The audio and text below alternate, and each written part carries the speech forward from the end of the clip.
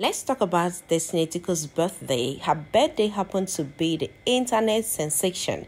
So, guys, this is the first part of her birthday. Listen to Destiny. Life, I know the journey is not easy. It's not. It's not child's play. But God, you stood there for me. You stood there with me. You said, "My child, move." You kept moving with me. You kept moving with me. Even when it was so red, oh Lord, you said, Destiny, don't. Her birthday started with this powerful prayer. You know what? Everybody, every single successful person you're seeing out there, they have their story. Her prayers made me quite emotional. Guys, you see, every wealthy person, every successful person out there, they have their story to tell. And guys, this is the first part of the birthday. This was the birthday cake displayed but i think this not her main birthday cake. This was actually a gift.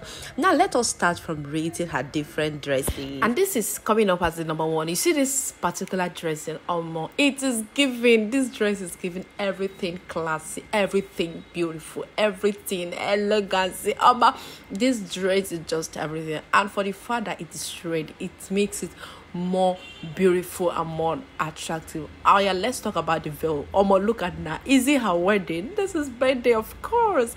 She's looking so beautiful. It's shaped her body very well, and even her makeup is top notch. Like, just take a look at the dress. Just take a look at the veil is veiling, the gown is gowning. In short, everything is doing their job perfectly, and the tailor did a nice work and the stylist they did your work perfectly. And i'm rating this dress 10 over 10 like 10 over 10 minus nothing. And here comes the second birthday dress. This dress is quite beautiful no doubt. It is giving this chic lifestyle baby girl lifestyle vibes.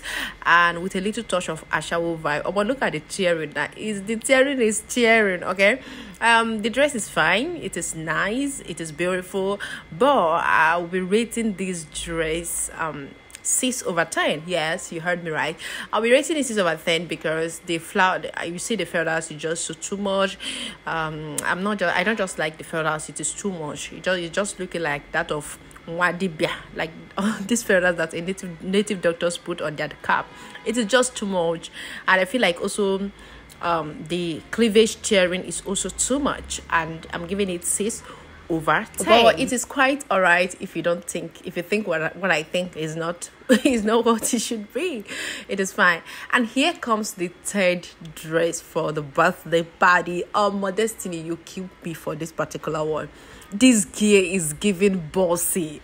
This one is giving madam, rich wife, rich woman. Amo, you see this particular dress? I love it so much. Or should we talk about the gele? Just take a good look at the gele. Um, everything is top notch, and I'm giving this 10, 20 over 10. Oh gosh, it cannot just be 10 over 10. This one is 10 over 10 plus 10 plus 10 plus 10. This one is just so beautiful, and I, I would have loved the dress more if it was just a short like this. But and here is the fourth dress for the birthday party. I'm giving this one um 8 over 10. It's not that bad. It's not that bad. It's beautiful. But guys i'm giving it 8 over 10 it is no it's just a simple dress okay? And here is one of the beautiful scene of the birthday party. The, here is one of the scene that is causing uh, internet sensation and all that. That moment a friend of Destiny Etiko, who is known as Shiko. Shiko came with bunch of money. I'm telling you, bunch of money. This is not a case of bunch of women. This is a bunch of money and was spraying this it was not even spraying she was giving it to her like it's just one of the most beautiful scene in the birthday party and and it you know what it is good to have friends that has money